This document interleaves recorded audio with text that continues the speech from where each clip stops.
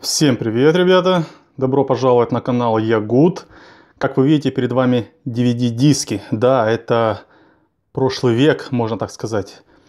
Оно уже кануло в лету, никто их уже не смотрит. По, да многие, наверное, даже и не знают, что вообще были такие DVD-диски. Да, в основном это, возможно, какие-то э, молодое поколение. Но, как вы видите, у меня эти диски остались, и я очень рад, что они у меня остались. Они уже более как раритет, как какая-то коллекционная игрушка, потому что, ну, в таком состоянии их уже вряд ли где-то можно найти. Хотя до сих пор продаются диски, DVD, и люди их смотрят, при том, что есть интернет, и можно без проблем посмотреть и онлайн, скачать э, на каких-то ресурсах. Э, желательно, конечно, э, в хорошем качестве и все остальное. Собственно, так все и делают. Да? Можно также смотреть и в Blu-ray качестве, в Super HD качестве, 4К. Но у меня остались эти DVD-диски. Какое-то время мне нравилось их, э, так сказать, коллекционировать, да, и я их не выкинул, я их не продал. Я их, э, я их даже, честно говоря, не смотрю, потому что есть все-таки альтернатива, да, то, тот же интернет, который я указал ранее. У меня также есть и Blu-ray диски, но вот это, это такая ностальгия, да, особенности мне очень нравились DVD э, диснеевских мультипликационных фильмов, шедеврах, да, вот таких, как, ну, допустим, вот «Книга джунглей», да, или э, кого еще взять, ну, допустим, «Спящая красавица», или там «Белоснежка», вот это, да, это шедевры мировой анимации. Это Дисней. Мне очень нравится Дисней, как и многим, хотя в интернете кто-то их хейтит. Непонятно вообще почему. Ну, всех великих часто хейтят, да. И давайте посмотрим некоторые мои DVD-диски из моей коллекции. Так, естественно, это не все, это лишь часть. Э, в другом видео я покажу другие диски, покажу вам издательства. Допустим, вот это вот пример мультимедиа. Ой, извините, нет, это видеосервис. Это видеосервис. А, а, есть также вот это позитив, ну, в том числе это один из этих DVD-дисков, да. Вот эта часть это позитив мультимедиа. Потому что пример мультимедиа это другое. Тоже есть такое DVD-издание. Эм, мне оно тоже очень нравилось. В одном из видео я также покажу один из мультфильмов, кстати, который у меня остался.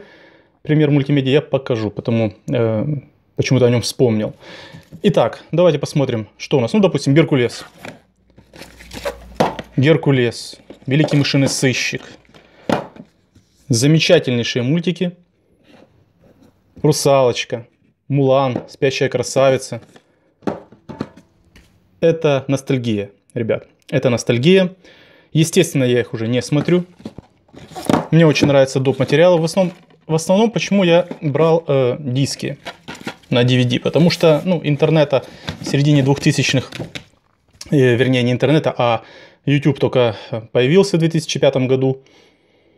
И доп. материала можно было найти только на дисках. Да?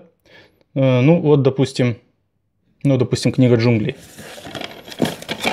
Где бы еще нашел бы доп. материалы вот этого мультика? Вы не подскажете? Да нигде. Нигде бы я их не нашел, поэтому в том числе я и брал эти диски. Кстати, книга джунглей это один из моих любимых мультфильмов. Дальше, вот, допустим, кто видел этот мультик? Лисия охотничий пес.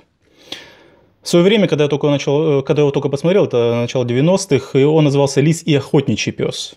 Тот и Топер. Два друга выросли, все-таки охотничий пес, лис. Сами понимаете, что как бы природе, они, по природе они не друзья. Этот мультик просто невероятный. Он не такой, допустим, как какая-то комедия, да, это все-таки серьезный мультик. И не всем он заходит. Серьезные мультики не всегда заходят. Такие как Покахонтас. Хотя Горбун из Нотр-Дама достаточно серьезный мультик, и он хорошо зашел. Вот Вольт. Вот этот мультик диснеевский, да, компьютерный. Честно, когда я смотрел в кинотеатре, я очень смеялся. Очень много было смешных сцен. Дисней может э, рассмешить зрителя. У них даже есть программа, которая позволяет определить, где наиболее вероятен смех да, э, у зрителей. Вот такая вот есть программа. Э, особенно этот парень мне очень понравился. Это просто супер. А сценка там, где вот эта кошечка учила Вольта, как просить еду, была встречена на ура в кинотеатре. Ну, естественно, доп. материалы за кулисами и все остальное. Э, чем мне интересен и нравится Pixar?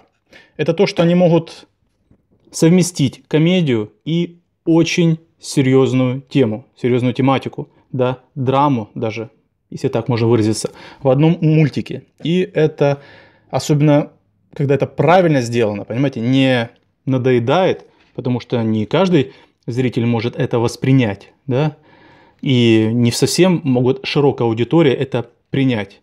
Pixar, конечно, там, ну там гении сидят, как и в Диснее. Это вверх. Это один из таких мультиков, это вверх.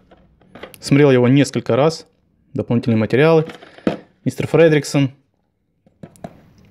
Отлично. Пересматривала несколько раз. Замечательно. Валли. Ну, это вообще, это, это самородок в своем, в своем роде, потому что этот мультик, он минимизировал, в этом мультике минимизировано э, общение. То есть слова и все остальное. В основном здесь сделан уклон на движение, на показ той или иной сцены, характера или ситуации при помощи движений. Вали – это один из этих мультфильмов. Но в этом издании он был на одном диске, и позитив мультимедиа я его взял здесь на двух. Тут он был на двух дисках, здесь он на одном. Вот доп. материалы. Непревзойденно. Непревзойденно. Это Вали.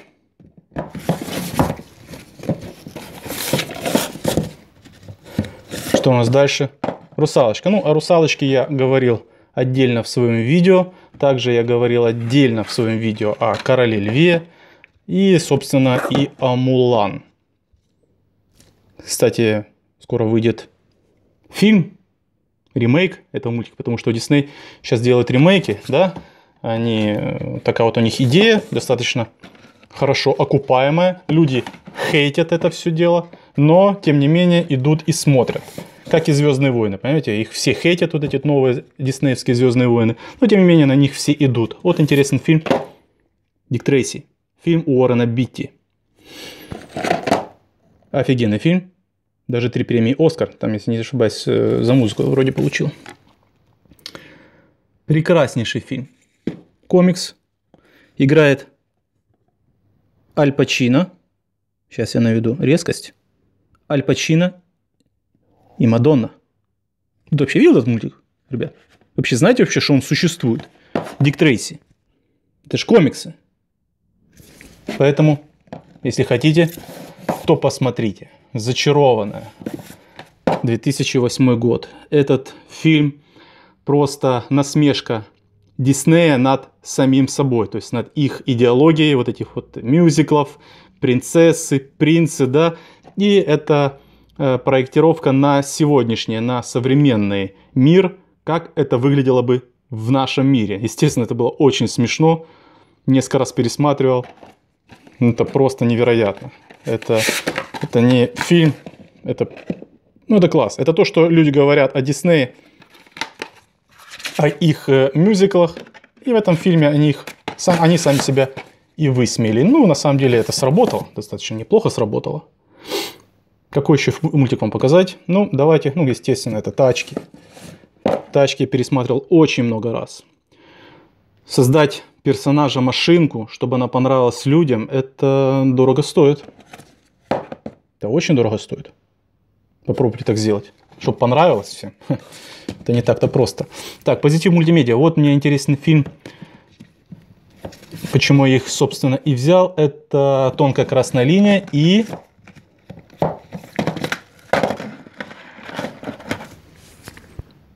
Спасение рядового Райна. Стивен Спилберг, Терренс Малик. Это более философский фильм, а это Стивен Спилберг. Пять премий «Оскар», два «Золотых глобуса», тонкая красная линия, семь номинаций на «Оскар». Просто актерский ансамбль. Шон Пен, Эд, э, Эдриан Броди, Вуди Харрельсон, Джон Кьюсак, Джеймс Кевизел, Ник Нолти. Кстати, тут не все, тут даже есть Джордж Клуни. Ну, а здесь, сами понимаете, Том Хэнкс, Мэтт Дэймон, Том Сезмер и Эдвард Бернс. Естественно, на двух дисках. Как же так? Без двух дисков вообще обойтись нельзя. По крайней мере, мне, мне очень нравится. Тонкая красная линия на одном диске. Поэтому так, дальше. Кошмар перед Рождеством Тима Бартона. Тима Бертона. Тима Бартона, да, так правильно лучше говорить. И труп невесты. Джек, Джонни Депп и Хелена Боннем Картер. Они озвучили этих персонажей. Доп. материалы, конечно же, без них никуда. Что на одном, что на втором дисках. Так, по поводу двух дисков. «Город грехов» Фрэнка Миллера. Фильм Роберта Родригеса совместно с Фрэнком Миллером, то есть автором «Города грехов». Также я его долго искал на двух дисках. Это середина двухтысячных. Как снимали фильм. Тут есть, есть интересный доп. материал, как за 15 минут показали фильм без компьютерной графики, то есть на зеленом фоне. Просто классно. Просто замечательно. Вот эти доп. материалы. Можете поставить на паузу, посмотреть их внимательно. Так, ну что у нас? Естественно, Железный Человек. То есть, по сути, с этого фильма и началась вся эпопея Марвел. Все фильмы, сольники, ансамбль супергероев в Мстителях. От этого все и пошло. Два диска. Роберт Дауни младший, Железный человек. 2008 год.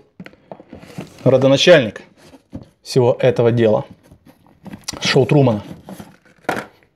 Джим Керри. Благодаря этому фильму Джим Керри показал, что он не только комедийный актер, которому нет равных даже сегодня. Да? Тут, тут смотрел Соника. То есть я вот, по сути, э, ходил на Соника, потому что там Джим Керри. Он просто невероятен. И в этом фильме показал, что он э, не только комедийный актер, а и драматический актер. Фильм на ура. Просто класс. Просто класс. Дальше, ребят, дальше. Что у нас идет? Так, ну, мне очень понравился шаг вперед, да, потому что мне нравятся танцы, естественно. Ну, естественно, это для меня, естественно, конечно. Да, тупой еще тупее. Джим Керри, Джефф Дэниелс, 94 год. Вообще 94 год для Джима Керри был просто пиковым. Вышел маска, вышла маска его, да, э, тупой еще тупее, собственно, и Эйс Вентура, первая часть. Фильм до сих пор смотрится, и я просто в восторге, когда его смотрю. До сих пор я знаю, что будет в этом фильме, все знают, и все равно улыбаюсь. Ребят, ну на этом все. В следующем видео посмотрим другие свои диски. Мои диски. Поэтому оставайтесь, подписывайтесь. И до встречи. Пока.